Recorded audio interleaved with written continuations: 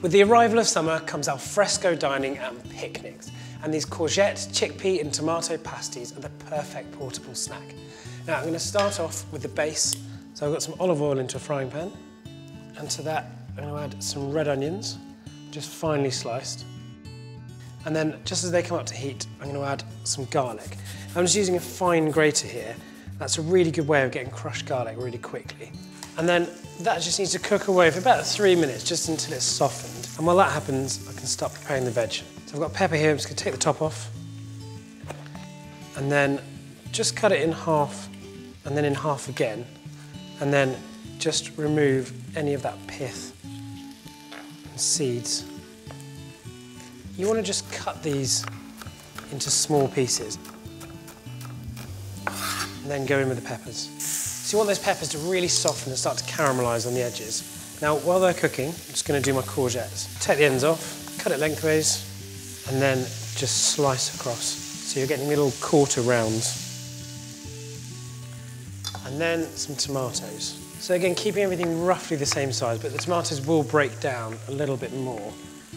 Now it seems like there's a lot of chopping involved in this dish, which there is, but there's a natural rhythm to it. So as each bit's cooking, the next bit can be prepared.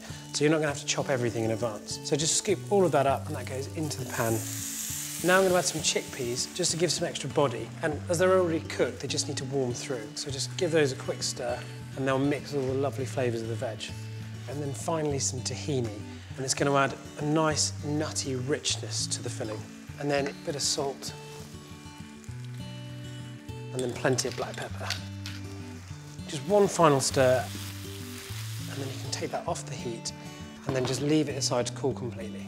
Right, now my mixture's cool and ready to go, so I can assemble the pasties. Now I've got some really good buttery short crust pastry here, and I'm just gonna cut a sharp knife to make two large triangles. So take about a quarter of the filling and just start to mound it up. And keep it quite neat because you want to form a lovely edge on the outside.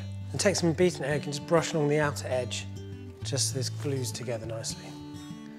And then pull that edge right back, just so the corners meet.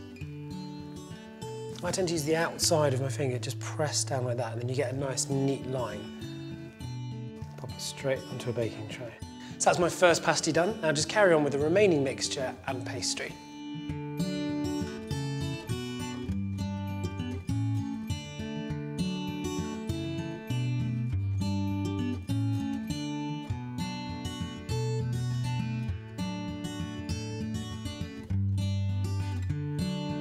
So once the pasties are all filled, take any remaining egg wash and just brush it over the top. And that's gonna help them to go really lovely and golden brown in the oven.